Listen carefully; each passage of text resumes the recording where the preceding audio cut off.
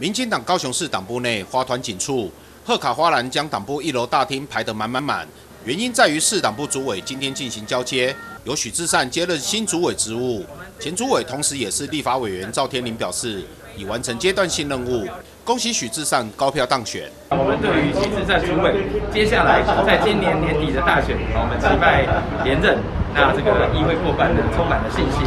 那所以呢，这样的一个重担，我们就交给吴志善主委。新任主委许志善则表示，将会凝聚党内团结，快速启动年底大选的模式，审慎谦卑来建立党部，成为最强辅选团队，并且会全力辅选市长陈其迈高票当选。及议会议员席次过半，共同为建设高雄市一起努力。那我们希望秉持着这个精神，我们年底的大选绝对会让市长顺利来高票连任，让议会的议员能够过半，来相助我们的奇迈市长，好好的把办公室做得更好更棒。另外，兼任民进党中执委、现任立委许志杰也到现场，勉励市党部要审慎应应年底三合一选举。以有信心、要小心、继续拼的精神，交出漂亮的成绩单。